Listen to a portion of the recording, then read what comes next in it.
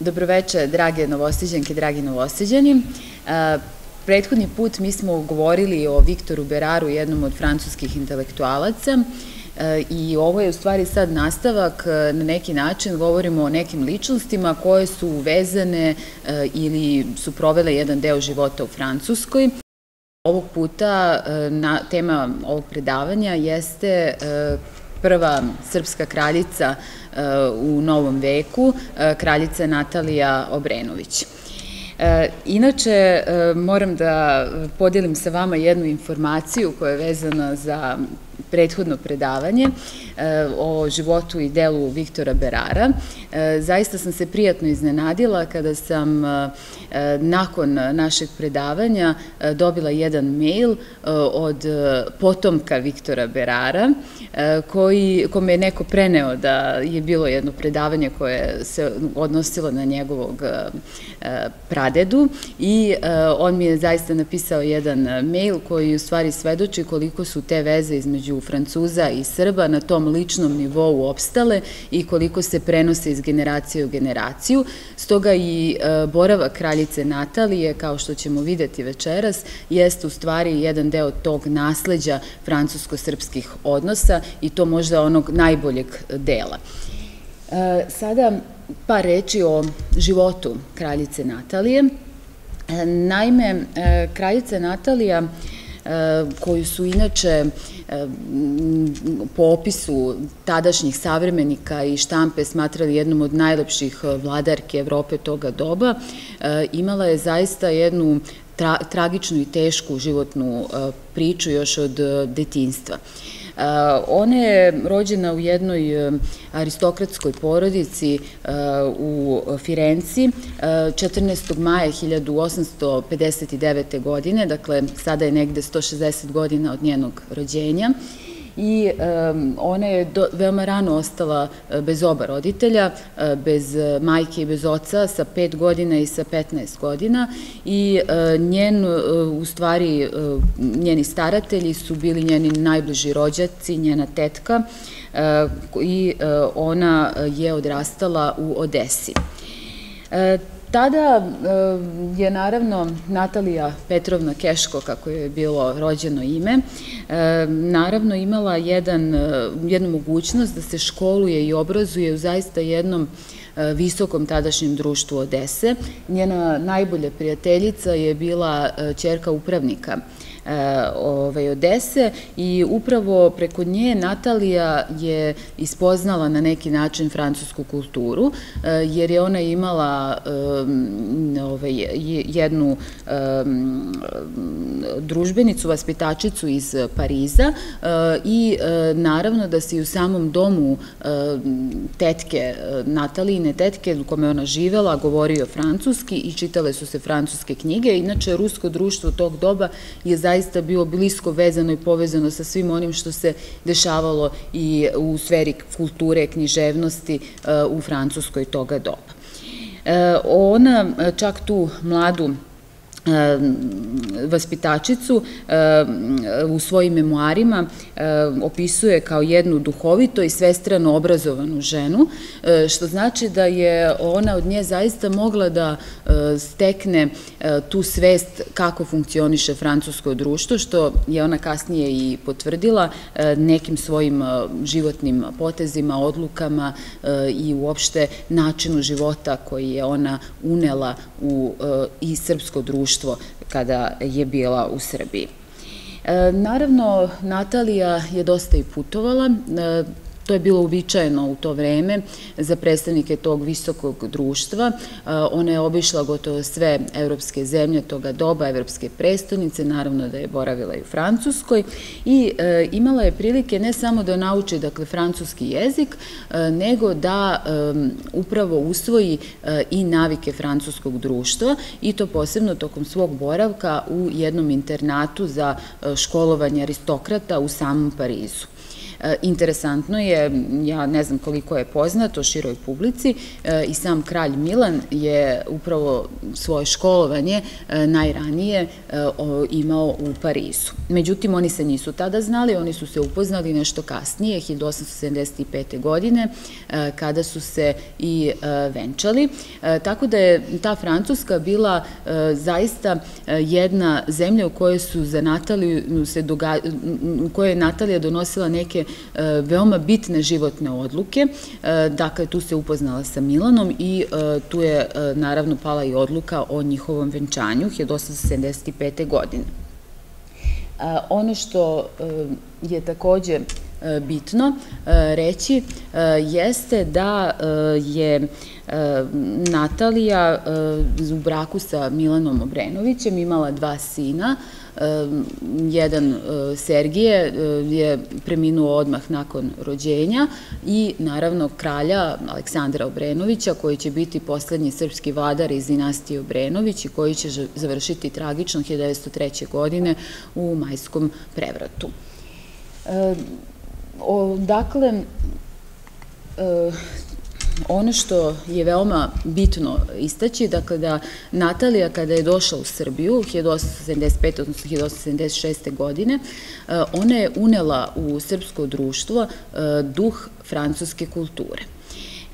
Inače, samu Nataliju e, su veoma prihvatili u srpskom društvu, posebno e, su ostali e, zapisi o njoj kao prvoj srpskoj kraljici posle Kosova, kao srpskoj majci.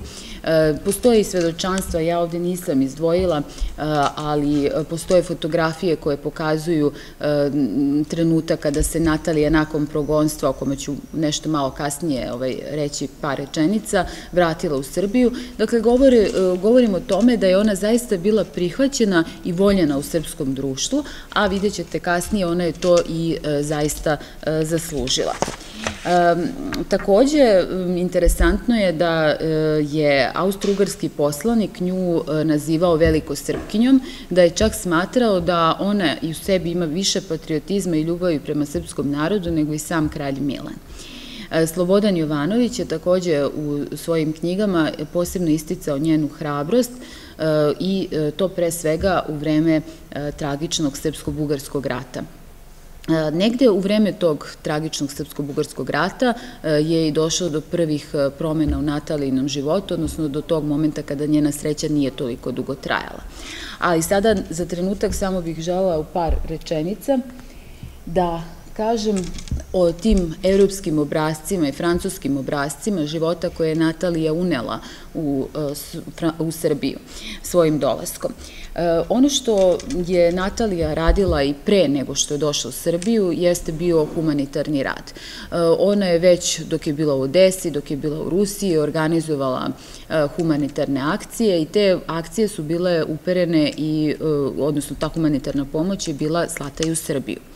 E, to je nastavila kada je došla, ona je okupila beogradske gospođe, ugledne ovaj, srpske e, domaćice i supruge uglednih e, Srba toga doba i upravo pošto je tada bio u toku u Hercegovački ustanak i Srpsko-Turski rat, ona je upravo prikupljala pomoć. Ostalo je zapisano da su na dvoru Beogradske gospođe i gospođice e, zajedno sa, naravno, kraljicom Natalijom e, iz končanog platna čupale šarpiju za zavoje. Dakle, e, od tih nekih najsitnijih mogućih momenta, ona je e, istovremeno e, te gospođe i gospođice, taj ženski svet koji je okupljala, e, nastojala i da edukuje, da ih emancipuje. Ona je bila zaštitnica ženskog društva koje je osnovano neposredno pod njenom dolasku, bila je zaštitnica i lista domaćica, zatim pokrovitelji časopisa Ženski svet i više devojačke škole. E, interesantno je da je upravo ovaj časopis Ženski svet e, pisao o tome kakva je uloga žene u francuskom društvu, želeći da svojim čitateljkama upravo to tu informaciju prenese. I tamo kaže, francuski narod prvi je između svih naroda počeo više pažnje ukazivati e, ženskinjama. Zbog toga ženskinje u Francuskoj imaju najviše prilike da se može, da mogu izaći u javnost i time se može razjasniti to što ženskinje u novije doba baš navlastito u Francuskoj igraju važnu političku i društvenu ulogu. Dakle, sama kraljica Natalija želela da srpsku ženu postekne da izađe iz tog patrijahalnog obrasca života u kući, da se obrazuje, edukuje i da preuzme dakle, društvene uloge, pa ovde već imamo reč i o političkim ulogama. E, u tom periodu to su zaista izuzetno napredne e, ideje.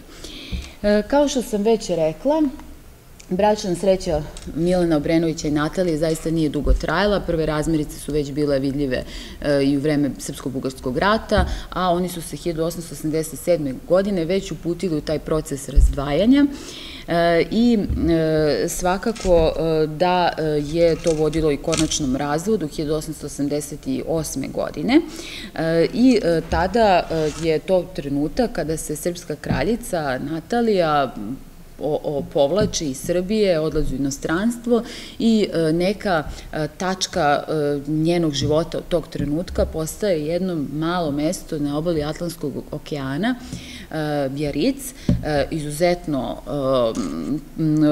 popularno u tom mondenskom krugu francuskog visokog društva ili evropskog društva toga doba i ona je tamo imala vilu koju sada ovde možete videti, pa ćemo se vratiti na neke od ovih snimaka. To je vila e, Sašino, upravo nazvana po e, njenom e, sinu, Aleksandru.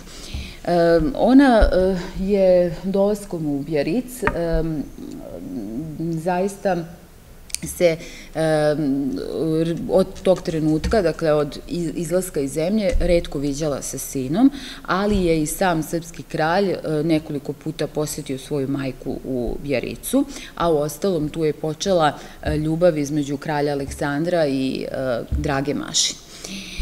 Ono što je veoma interesantno u ovom trenutku jeste, na što ćemo se na kratko vratiti, jeste da e, je ključno bilo e, pitanje obrazovanja e, Aleksandra Obrenovića, odnosno kako će se budući kralj obrazovati i ovde sada već vidimo te, tu značajnu vezanost Natalije za Francusku koja je insistirala da upravo Francuska bude ta zemlja u kojoj će se budući srpski vladar, a njen sin obrazovati i interesantno je da ni sam kralj Milan nije bio protiv te ideje, jer je, kao što smo čuli i sam bio ovaj, đak.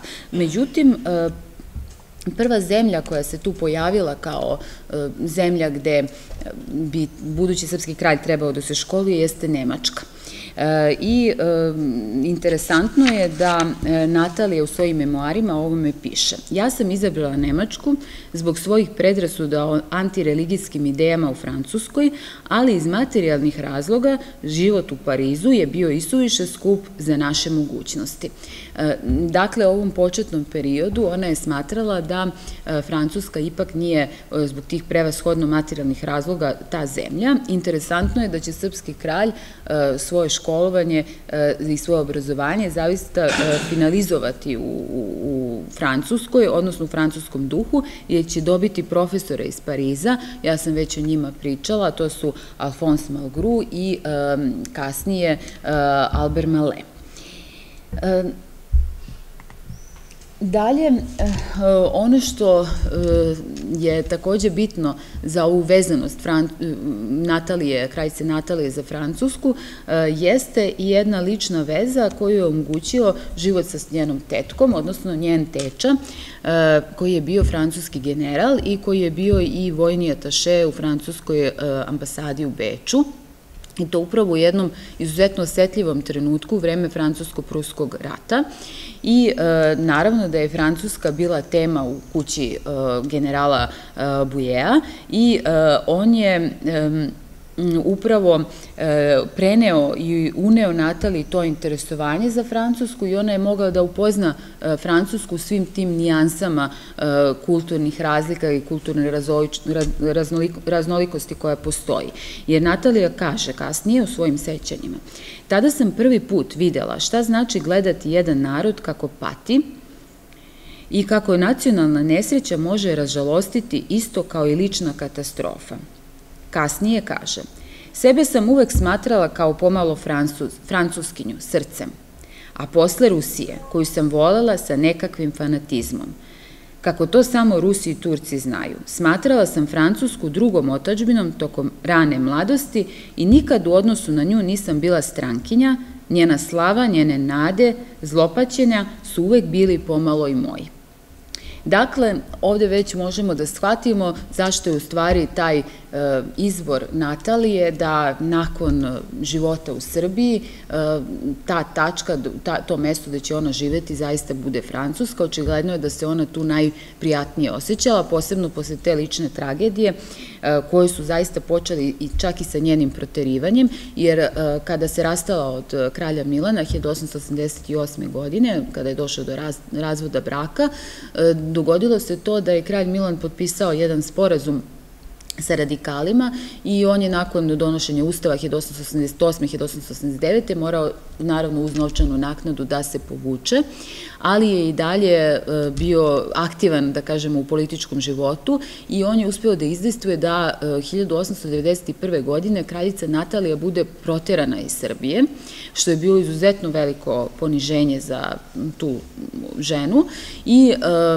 naravno za kraljicu toga doba i e, naravno da je to ostavilo traga na taj Natalijin odnos prema i Srbiji i tome da i kada je njen sin, kralj Aleksandar 1893. godine došao na vlast, ona nije želela nikada da se trajno vrati u Srbiju, iako je dolazila nekoliko navrata i posećivala ga, ali e, je prestala definitivno da dolazi e, kada je bilo sasvim jasno da e, će doći do ženitbe kralja Aleksandra sa Dragom Mašim.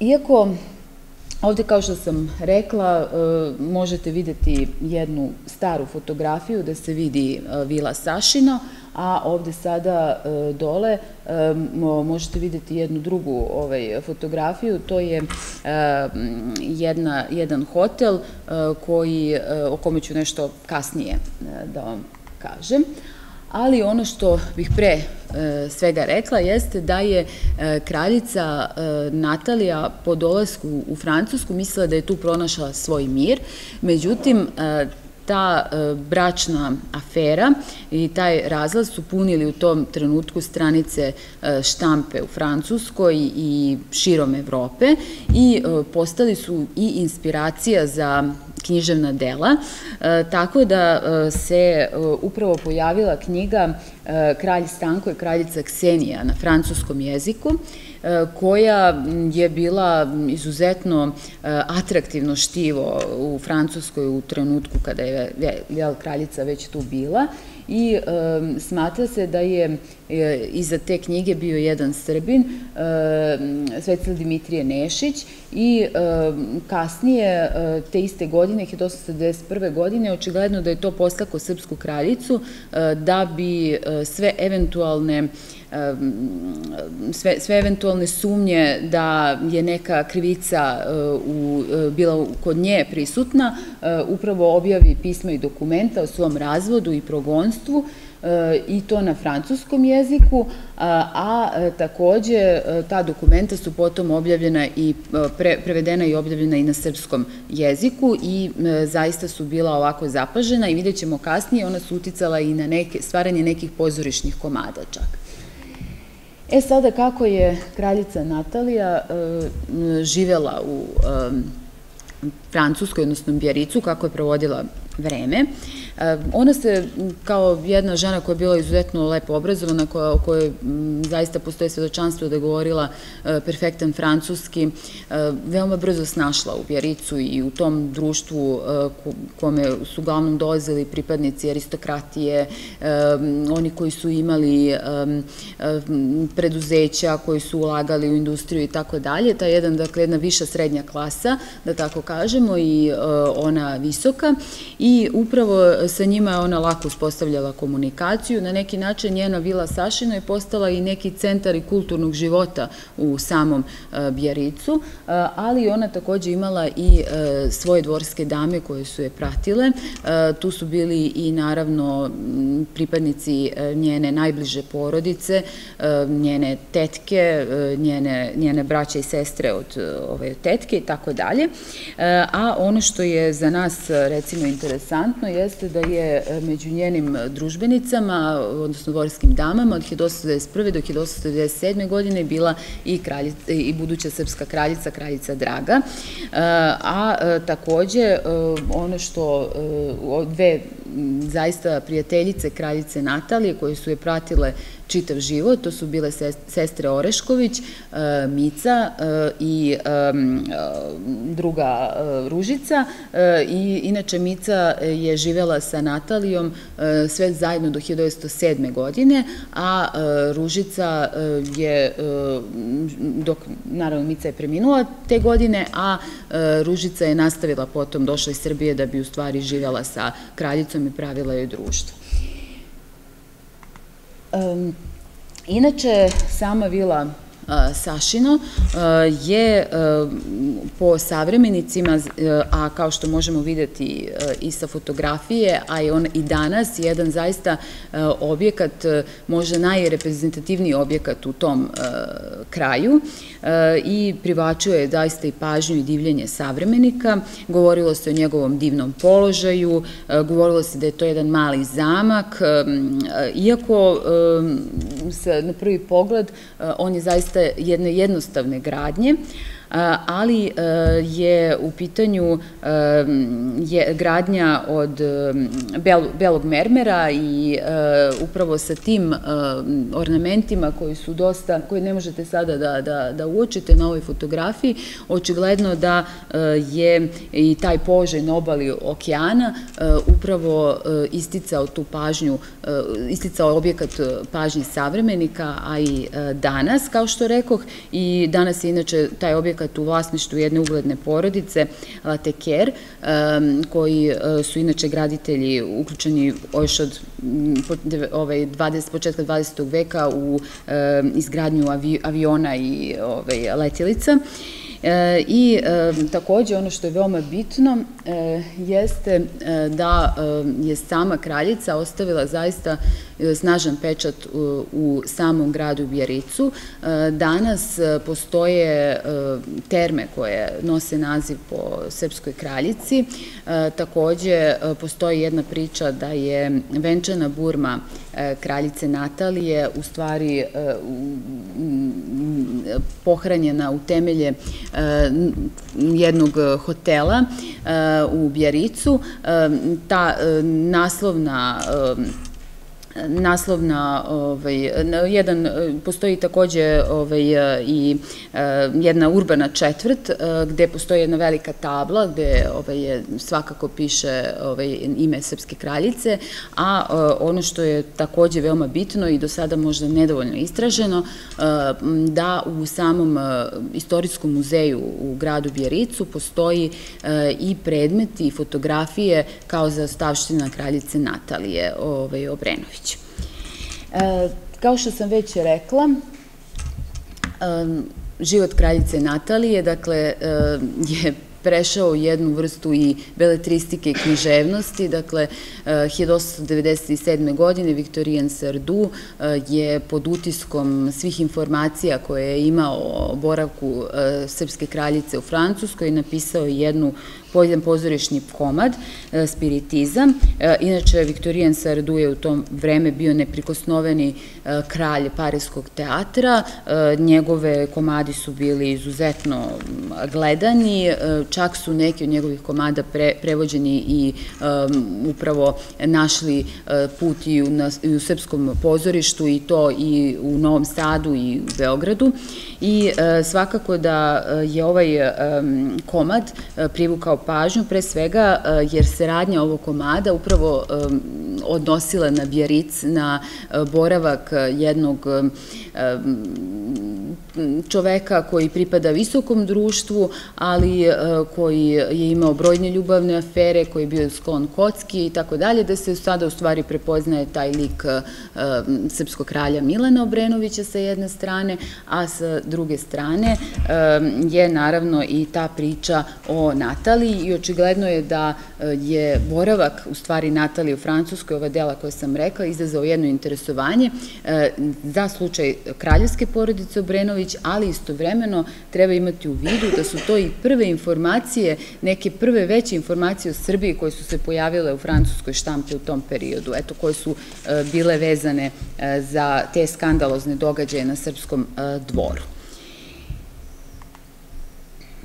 E, sada, e, kao što sam već rekla na početku, e, kraljica Natalija zaista donosila ključne odluke u Francuskoj. Jedna od tih uloga koja je do sada isto pod jednim velom tajne i jeste i njen prelazak u katoličanstvo. Ona je 1902. godine u jednom malom mestu, Bergsir-Mer, u martu mesecu prešla u katoličanstvo. Ono što je definitivno jeste da je u životu kraljice Natada i religija zaista imala važno mesto, da je ona bila duboko religiozna žena, žena koja je živela u Rusiji, koja je dakle upoznala pravoslavlje, potom živela u Srbiji, I sada se, dakle, postavlja pitanje kako je došlo do takvog preokreta u njenom životu, da ona prihvati drugu veru, da prihvati fileokve, kako se jel, to kaže. Ono što je interesantno jeste da je ona čak i odabir nekih mesta koje je posećivala u ranijem periodu birala prema tome da li postoji mogućnost da ona ispolji svoje religijska odsvećanja, odnosno da poseti neku od crkava, naravno to su naravno bile pre svega ruske ove crkve. Ona recimo u jednom od pisama svojih govori u periodu života kada je živela sa kraljem Milanom, kako za razliku od Milana, kome to nije bitno, gde su i da li u tom mestu ima crkva, ona se jedino prijatno osjeća u Nici, jer tu može da posećuje Rusku e, crkvu i da je drugo mesto gde se ona prijatno osjeća Rusija, e, naravno upravo iz tih e, razloga religiozne prirode.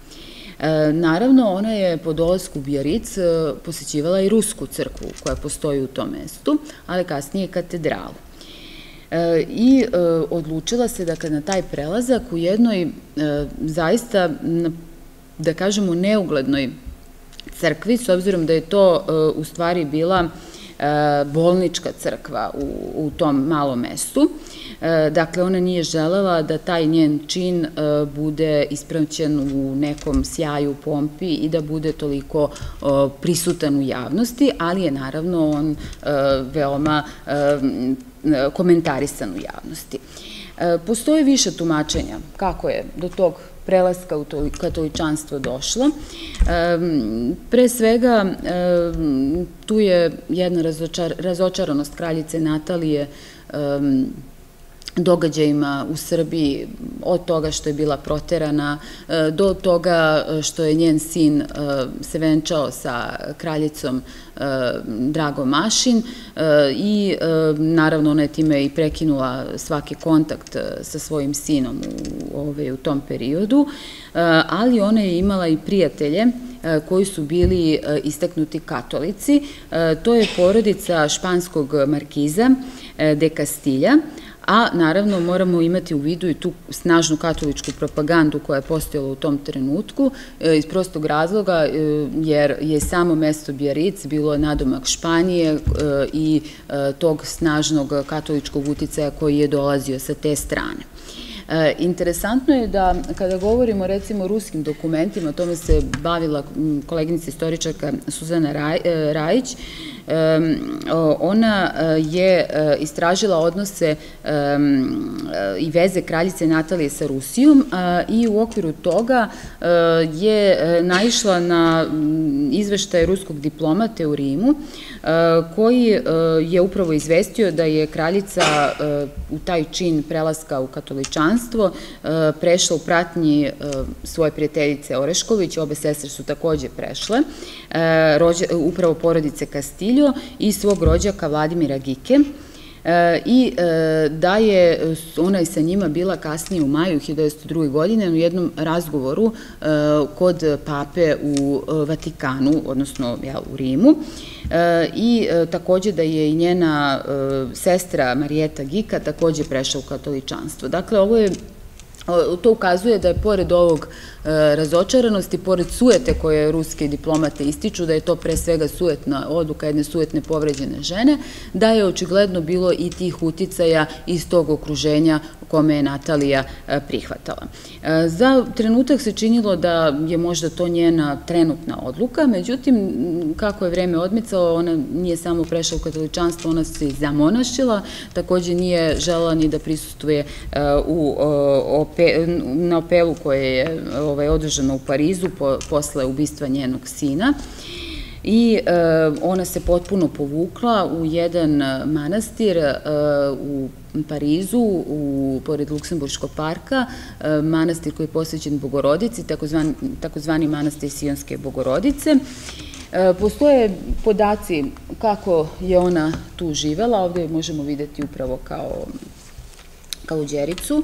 E, ona e, je živela dosta skromno u tom manastiru, e, ali je ipak imala neke svoje izdvojene prostorije, imala je salon, imala je trepezariju i naravno pratnju, kao što sam već rekla, Mice Orešković, potom Ružice Orešković, koja je bila sa njom sve do 1941. do njene smrti.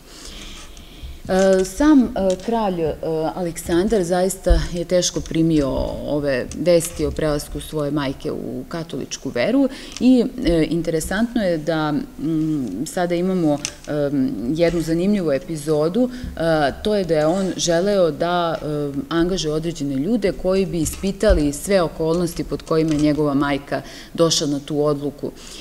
I on je angažovao srpsko poslanstvo da se raspita i oni su angažovali jednog novinara, e, to je istoričar i slavista e, Ivan Malkuzani, on je inače bio i autor jedne knjige Panslalizam istočno pitanje, dakle neko ko se već interesao za Balkan, ali istovremeno i neko eh, ko je bio eh, izuzetno prisutan, izuzetno, sa izuzetnim vezama u katoličkim krugovima i preko kojih je on mogao da se raspita i on je dobio i novac da bi se raspitao za, dobio, prikupio što više informacija.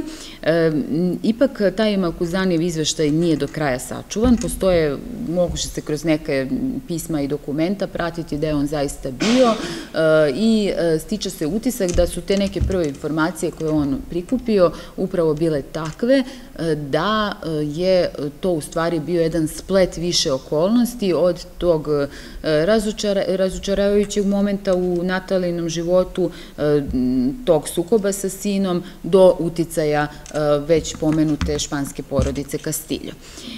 Interesantno je da su evo i savremenici zapisali kako je ta vest odjeknula o Natalinom prelasku. Kažu, kraljica Natalija ovim svojim otpadanjem od vere baš zacrnila.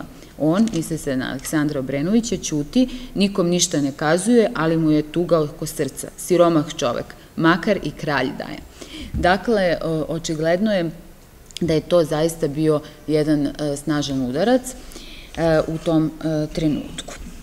E sada, govorimo o životu kraljice Natalije nakon 1903. E, nakon e, definitivnog prelaska sada iz Bjerica u Pariz i o tome šta je u stvari ona radila u vreme aneksijone krize balkanskih ratova velikog rata.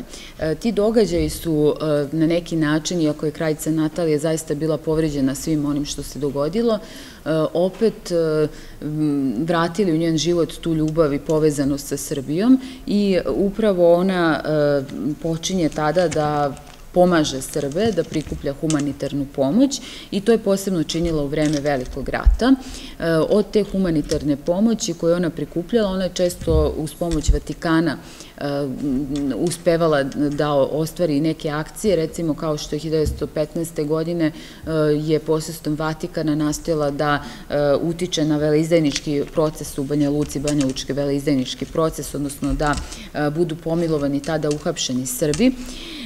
I takođe, pored ovih dobrotvornih akcija koje su se nastavili 1916. godine kada je jedna značajna grupa Srba došla u Pariz, mislim pre svega na učenike i studente koji su došli tu na školovanje nakon povlačenja preko Albanije i Krfa ovaj, su našli utočište tu. Ona je pomagala njih, pomagala njihovo školovanje, obilazila ih. Postoje čak i svedočanstvo o tome kako ih ona uči srpskim pesmama. Ona se tada susretala i sa Jovanom Žujovićem koji je bio zadužen za brigu o srpskim džacima i e, izbjeglicama u Francuskoj u tom periodu i on u svom dnevniku o tome piše. Inače, sam Jovan Žujović je, e, odnosno supruga Jovana Žujovića je bila Natalijina prijateljica i e, Žujović svedoči o tim empatijama kraljice Natalije prema srpskom narodu i e, da ona svojim kontaktima, vezama u okviru francuske i ruske diplomatije kojima ona bila povezana, e, da e, pomogne Srbiji, e, a i jedan podatak koji je ovako prilikom jednog od njihovih susreta, oni se razdvajaju, Jovan Žujović odlazi u Rusku crkvu, a ona odlazi u baziliku Sakra Kjer da zapali sveću, da se pomoli za spas Srbije. Dakle, iako je prešla u katoličanstvo, ta njena veza sa Srbijom nije prestala. E, informacije o njenim poslednjim danima, godinama, da ne kažemo i dve decenije, znači u onom periodu nakon e, velikog rata, e, su kontradiktorne i dosta oskudne. Postoje informacije i mogo se u to vreme u štampi pročitati da nekadašnja srpska kraljica, nekadašnja najljepša srpska kraljica, ali istovremeno i najtužnija i najtragičnija, je e, u krajnjoj oskudici i bedi, e, da je ljudi viđaju kako se šeta Parizom, Luksemburškim parkom i prosi. E, te informacije su verovatno netačne, verovatno su malo više pod mašte i nekih tračeva. Definitivno je tačno da je kraljica Natalija zaista živela skromno, ali pre svega je to bila njena odluka. Ona je najveći deo svojih novčanih sredstava koje je imala poklonila. Između ostalo ostalog, ona je najveći deo svoje zaostavštine poklonila Beogradskom univerzitetu, a takođe ono što je sigurno jeste da je ona u svojim šetnjama i prilikom susreta sa čak nepoznatim ljudima davala određenu pomoć, donosila poklone deci i naravno da je na taj način očigledno bila njena odluka da tim poslednjim godinama svog života skromno te poslednje godine svog života provede skromno i ona je preminula 5. maja 1941. godine, dakle dočekala je početak novog rata. Sahranjena je u prisustvu najbliže rodbine i Ruže Orešković u groblju, starom groblju na Lardiji, mesto 50 km južno od Pariza. Ovde vidimo staru fotografiju njenog groba. Ovo je levo, odnosno vaše desno, je fotografija nastala u martu mesecu kada sam bila. Kao što možete videti, Nažalost, ovaj spomenik zahteva jednu veću brigu. E, nadam se da će do nje doći, jer svakako e, kraljica Natalija to zaslužuje, kao što ste čuli iz ove priče i e, zbog brojnih dobročinstava koje je pružila srpskom narodu, mada moram da naglasim da srpska dijaspora organizovano posećuje u poslednje par godina, je započela posećivanje ovog mesta, što ranije nije ovaj, bio slučaj, tako da na neki način sećanje na Nataliju oživljava, a i moja ideja jeste bila da kroz ova predavanja vezana za Francusku i Srbiju, e, oživim i to sećanje na e, kraljicu Nataliju, evo nekih 160 godina od njenog rođenja i opet u nadi e, da će se izvršiti restauracija njenog groba i možda jedna ploča sa natpisom da je tu sahranjena srpska kraljica. Ovako je zaista teško uočljivo koji je, gde je u stvari taj spomenik i gde je njeno grobno mesto. Hvala vam.